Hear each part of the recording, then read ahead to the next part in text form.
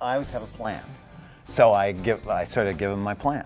And then inside that, they have endless impulses that are all make it better. So, I mean, I'm a happy recipient of better ideas. I mean, the real goal for me is just to make everybody comfortable, let them be as good as they can possibly be. No, but he does a hilarious thing because he's such a gentleman and he's so elegant, or at least this is the illusion that he creates. But then he'll come up and, and give like a line reading and say, but pay no attention to this horrible acting. You know, just you do it your way. And then at one point we said, you know, but actually you're a pretty good actor. He said, oh, I'm an excellent actor. I just I just use that as my line to get people to be better. it's all it's all a ruse. No, he, he's very shrewd at the way that he gets what he needs out of an actor without you knowing it. But they also here, it's really easy because the four women are sublime. So you're not pushing.